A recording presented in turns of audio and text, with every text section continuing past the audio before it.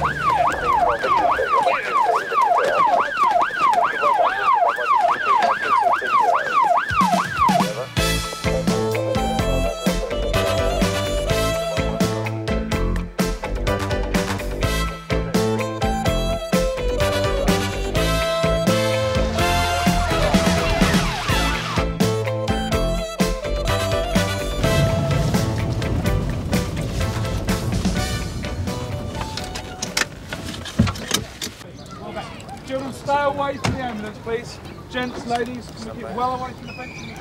you.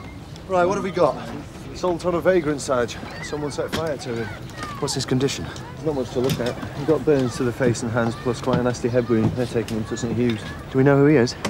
Seems he's just a tramp, Sarge. Well, that makes it all right. Well back, please, sir. Was he sleeping on the bench? Looks that way, yes. Right, let's get this area taped off. Um, SOCO? On the way, Sarge. Good. What about these people? Any witnesses? Not had a chance to ask yet, Sarge. We'll get cracking before they move off. He won't be able to talk to you at the moment. How's he doing? Not too bad considering these people are not in the best of health to start with. He was wearing thick clothing, so it could have been worse. Can you keep us informed of his situation? We really need to get a description of his attacker as soon as possible. Excuse me, love. Did you happen to know the gentleman? What? Yeah. He was in a park every day when it was nice. And that tape recorder of his. Tape recorder, yeah? Yeah, big radio cassette thing. Played music on it. Right, and did anybody ever give him any uh, trouble that you know of? What, you mean kids? Well, whoever. Nah. There's some people around here don't like the homeless. But I can't think who'd want to do that. He didn't mean to harm no one. Right. He's found something. Look, he's found something. If you could just stay here a second, madam. What you got there, Steve? Petrol. Thanks. Hopefully we should get a good set of fingerprints after that. Any joy with the public? Ah, the usual. Like the three wise monkeys, except nobody's wise. You didn't happen to find a tape recorder, did you? No way. Well, that woman with the kids written this character always had a tape recorder with him. Yeah? Well, maybe that's what it's about then. Why try and kill a nobody? Kicks. Attacks have been reported before, not that we've been able to do much about them. You had contact with these dossers before, didn't you? Yeah. So what did they say? Reckon it was some lads from the Beckett estate. Probably jealous. I'd rather sleep on a park bench than live in those flats. Yeah, but this is a bit strong, isn't it? Perhaps it just got out of hand. Do you want to go back and have another word with him? Yep, no problem. It's worth a couple of you lads knocking up the residents of the Beckett estate. Somebody might have seen something. Loxton and Garfield are already onto it, sir. Do we know who our pal is? No, he's not fit to tell us anything at the moment. There's no ID. He's uh, a non-person, sir. I'll leave this one with you then, Frank. Thanks. Thank you. Here we go. Case of the week. GBH on an unnamed tramp on the Beckett estate. No witnesses. Probably another dosser. Some of these old boys can get a bit serious when they fall out. What about Ron Smollett? His own beat covers that area. Nah, I doubt if it was him, Tosh. Oh, very funny. Fine run and get on with it. Right, Tosh. Fine run and get on with it.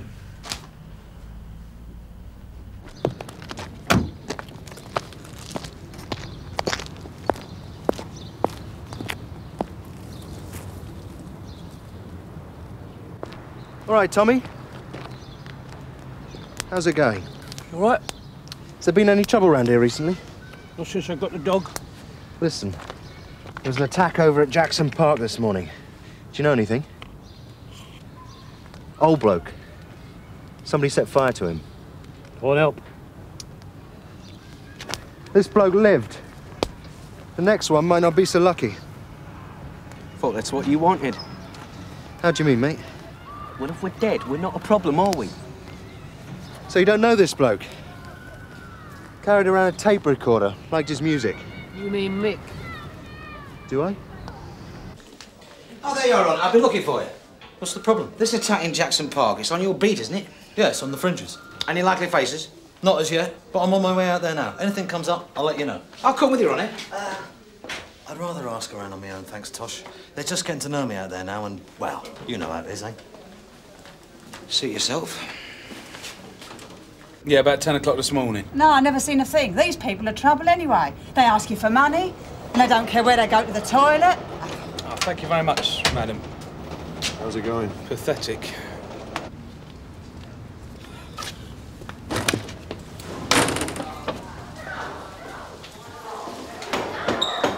Hello, Mr. Smollett. How's it going? Can't complain. How are things here? All right. Oh, bizzo, Mr. Smollett. Bizzo. No trouble at all. Think people got the message. Message? Well, if you want to have a good time, you want to make friends, come round. If you want trouble, stay away. I heard you had trouble getting the dealers to stay away. Uh, well, nothing I couldn't handle. Hear what happened in Jackson Park this morning? yeah. Terrible. Any names spring to mind? No? Can't help you. Where do they go, the troublemakers? Well, once they're out of here, they're not my problem. It's none of my business. Look, I don't mean to be rude. Tony, you must have heard something. Nothing. Sorry.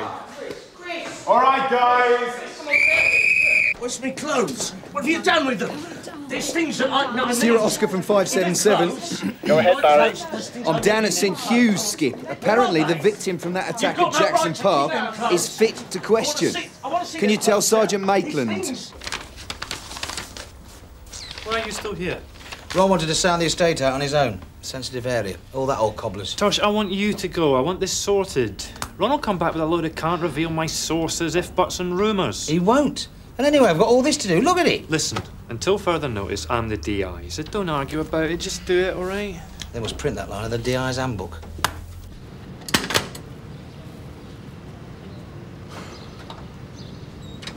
Morning, madam. How'd you find out? Beg your pardon? That it was me phoned the ambulance. I didn't think they could trace calls like that. Well, that's why you're here, isn't it? Yeah, but I didn't know it was you. We're calling on all the residents. Any luck? I thought I told you to stay clear. Yeah, well, I'm only following orders. Come on, get in. No joy, I'm afraid. Well, that's not very good, is it? I thought Tony was supposed to be your eyes and ears on the Beckett estate. He is. Yeah, well, he only tells you what he wants to tell you. You've got to build relationships in my job, Tosh. Gain a bit of trust, a bit of credibility. Just as long as it's not a substitute for nicking people. Give me time. How long do you need? A year or two? Oh, at Jackson Park. hang on a minute. Go ahead with details. Uh, Mrs. Fisher, 63 Elliott House, Beckett Estate. Sierra Oscar from 330. Tosh Lines and I can meet with Garfield there in two minutes. Not too long, okay? Okay. Barry, what's his full name? Michael Donaldson. Right. Hello, Mr. Donaldson. I'm Sergeant Maitland from Sun Hill Police. I'd like to ask you a few questions about this morning. No one's called me Mister for a while. You tell us what happened, please? I was in the wrong place at the wrong time. We were under the impression that someone attacked you. That's what I meant. I don't think he was out to get me in particular. He? There was only one. That's right. Can you describe him? It happened too fast. They all look the same these days. Stupid haircuts, the clothes. Had you seen him before? No. Are you sure? I mean, there have been other attacks on homeless people. And there always will be. Look, I don't need all these questions. I'm the victim. Yeah, look, I understand. It's just that I want to get the person that did it. I wouldn't waste your time. What do you mean by that? Even if you find who did it, nothing will happen, will it?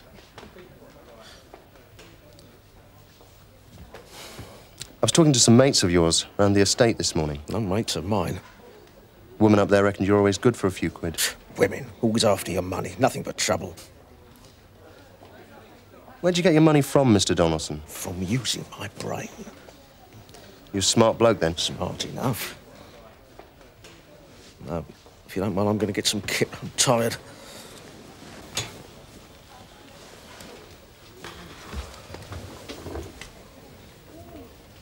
I was doing me hoovering. About what time, love? Well, I suppose about half ten. I went to open the window and I heard this shouting. I looked out and I saw these two blokes arguing with a tramp. One of them hit him, poured something on him.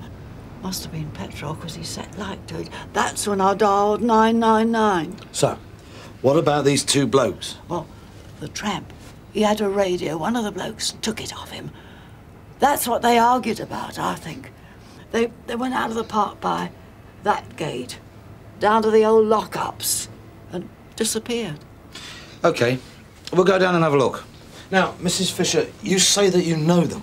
Oh, well, the one who took the radio, I know him. I've seen him before. What does he look like? Well, he's uh, kind of small, blonde, but it's his face. Oh. What about it? Well, It's all scarred as if he'd been slashed with a knife. Oh, it'll give you the creeps, honestly. Got this on your list of places to visit? To be honest, I didn't know there was any action down here. Somebody's doing good business. No sign of our two blokes, though. Why do you run down here if you've just attacked somebody? Home turf. Somewhere you feel safe, where no one will bother you. You'd feel safe down here. Druggies, pushers and users. That's just what I thought. Small and blonde. I think that's the one. Derek Mitchell, done for possession of heroin six months ago. What do you get? Three months suspended. He's also a known associate of Paul Phillips. Paul Phillips. Possession with intent to supply amphetamines. One year suspended sentence, second offence. He got off lightly. Drug squad arrest. Do you know either of them? Oh, yeah. Mitchell spent a lot of time down the community centre. And Phillips? Nasty. This ABH here. He was involved in a ruck down the community centre not long after Tony took over. Drugs related? Almost certainly. Rumour was that Phillips was dealing and Tony's very anti-drugs. Yeah, well, thanks. Look, well, can you do us a favour? Can you check with SOCO and see if Phillips and Mitchell's prints match those on the petrol container? Yeah. Tar, what do you reckon? Well, if Phillips was aged out of the community centre, then the lockups probably became his new venue. Yeah, well, how's this tie-in with him and Mitchell attacking Mick? What's a tramp got that a small-time dope dealer needs? A tape recorder? His full name is Michael Donaldson. He can't remember what happened, no description, nothing. Do you believe him? Not for a minute. Any progress? Yeah, we've got two names, Paul Phillips and Derek Mitchell. Our witness says she saw two blokes arguing with Mick. Now, these are the most likely. She said she could ID Mitchell for sure. I'm not surprised. Hang on, two people. That's what she said, yeah. When I spoke to Mick, he didn't mention anything about an argument, nothing like that. For a victim, he's not very forthcoming. Maybe he's scared. OK, John. Get back to the hospital, have another word with Mick. We'll pick up Phillips and Mitchell, see what they say. Right. Thought you'd want to know that print from the petrol can. SOCO says the yards matched it to Phillips. We're in business. Thanks, love.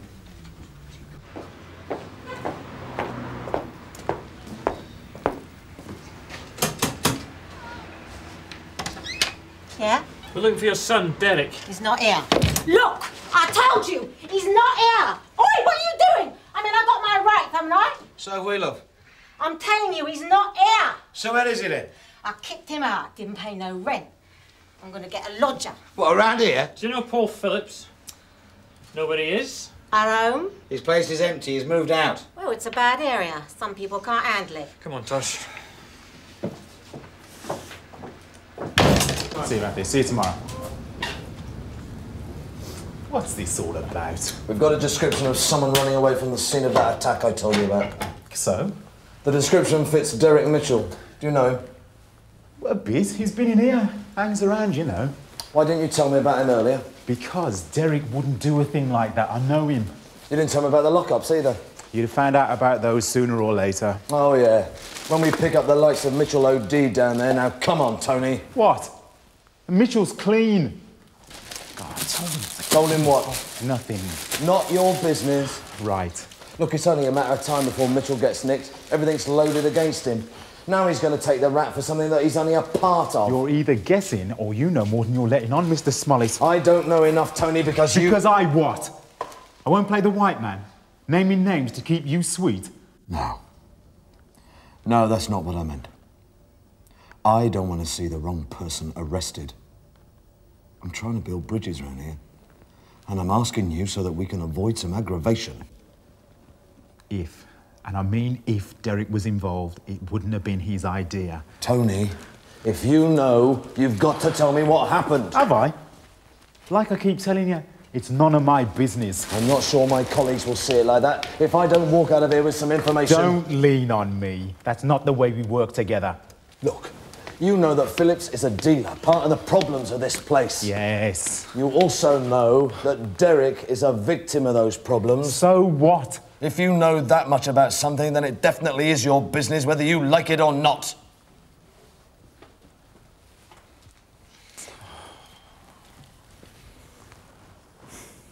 Listen, I don't know it all, okay? But the tramp who got torched, he had something on Phillips. He slept in the lockup. Phillips uses that place like he used to use this place.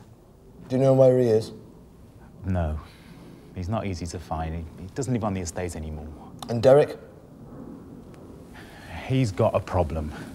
A dope problem. Yeah, you guessed that right. And he owes Phillips more than he can ever pay. Do you understand me? He's just a Joey, really. Where can I find him? Harrington Walk, other side of the estate. He's squatting in a flat there, one the council forgot about. Number 1A. He's been there since his mother kicked him out. Cheers, Tony. Yeah, cheers. You know, maybe it was better when people like you and me just didn't talk to each other.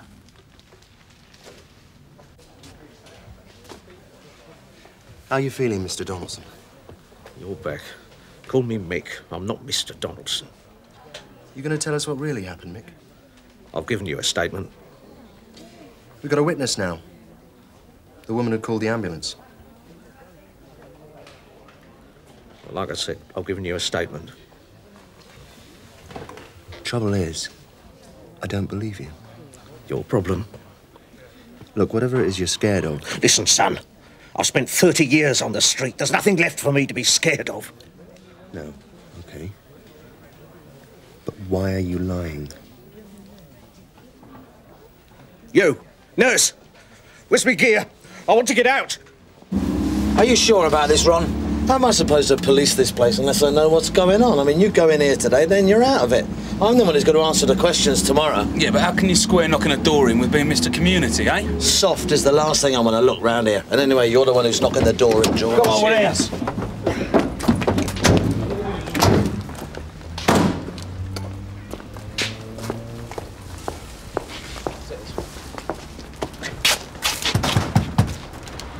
Police, open up! This what you call community policing then, is it? Police, You made it community, you're still a cop and how you smile. Follow you, Afternoon.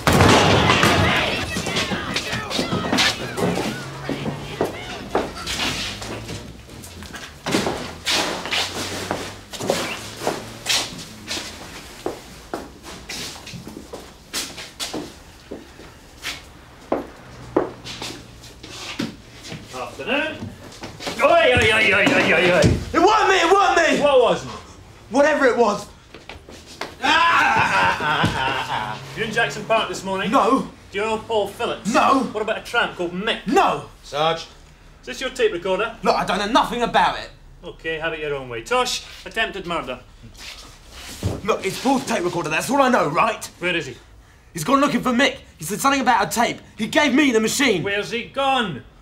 To the hospital. I keep telling you there was no argument. Our witness specifically... Stuff your witness. She got it wrong. Look, I'm sure you're well enough to leave. I don't like being shut in. I'll survive. What about this tape recorder? How long have... Come on. Lie back down. I'll get it all. Sister? Got a problem. Michael Donaldson. Hello, mate. Come to visit you. Leave me alone. Hey, hey, you give me that back. You leave me that. Oi! The hell do you think you're ah, doing? He's got me tape. All right, sit down. He's got me tape.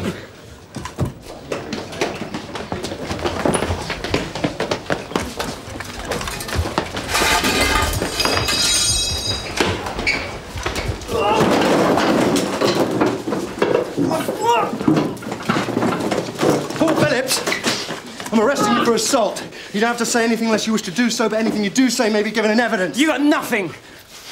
I've got this. Get it. I don't think you realise how much trouble you're in. It's ABH for a start, GBH, maybe attempted murder. Don't make me laugh. No laugh, mate. Not when you set fire to people. I don't know what you're talking about. I've had enough of this. I'm saying nothing more, not to you. I'm only talking to Mr. Houlihan. Houlihan?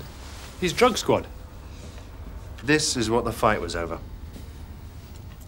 Let's have a listen.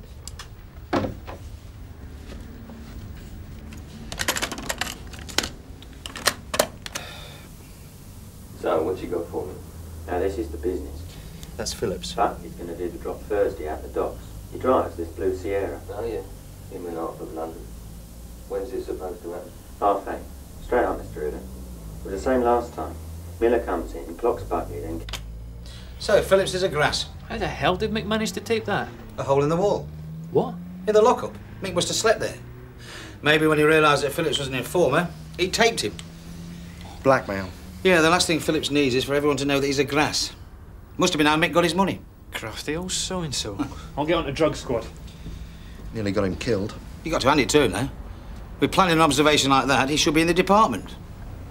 Could make DI in a month. We know Mick had been taping you. What was the deal? You slip him a few quid every week to keep it to himself? No comment. Get greedy, did he? Want more money? No comment. Was it worth trying to kill him for? Interview interrupted. Oh, uh, sorry, Sarge. There's a DI Hula here to see you. I've uh, parked him up in CID. All right, Rich, thank you. Now we'll get somewhere.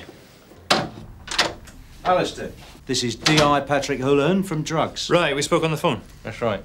I was just explaining to your DCI here the situation. Phillips is my informant, and the good one. So I gather. Doesn't mean to say he can go around torching people, though, does it? No, no, of course not. What I was saying is he's come up with solid information in the past, and if possible, I wouldn't want to lose him. Maybe you should have kept a tighter rein on him. Yeah, all right, Alistair. All Patrick wants is damage limitation. That's right. I mean, it's not like he took a box of swan to the Lady Mayoress, is it? Just some vagrant, wasn't it? Listen, as far as I'm concerned, a crime's a crime. I don't operate on a league table basis. No one's saying you do. But Phillips was leading us to the middlemen. People like Buckley. We could crack a major ring. I'm sure Alistair appreciates that. Of course, Gov. So how much is on paper? Nothing, to be honest. Isn't going to speak till he's talked to you. If he hasn't been charged yet, the ball's back in your court. As it happens, Patrick, the ball never left our court. You've got to see our point of view. This is going to be all over the papers tomorrow. I want a swift result. Look, Phillips is the closest we've got to Buckley. If I could give you another name, someone to take Philip's place, you'd owe us one. Alistair, we're all on the same side. Hmm. Derek Mitchell. As far as I can gather, he's slower than Phillips, but he's got a healthy habit. You keep him in jollies, he'll get you information. Alistair, there's a callous streak in you I could get to admire. But you said immunity. Not for GBH. But these homeless are rubbish. And that Mick had a tape, a tape of me telling you. He was out of order. He wanted more. He said he was going to give that tape to Buckley. He would have done me, and that would have wrecked the whole operation. Operation? What do you think? You've got a bit part in Mission Impossible? All you've done is get yourself blackmailed by a tramp and caused me a lot of aggravation. Attempted murder? I should think that would stick. You what? Don't you understand? I was helping you. Now you've got to help me. Help you, Paul? If you were on fire, I wouldn't cross the street to pee on you. Right, we're going to find you a place in a hostel somewhere. I already told you I don't like being shut in. It's all right, Mick. It's just to make sure you're safe, and so we know where to find you when it's time to go to court. And after that, after court, what's going to happen to me? Well, I... I had an income, some security. Now what am I going to do?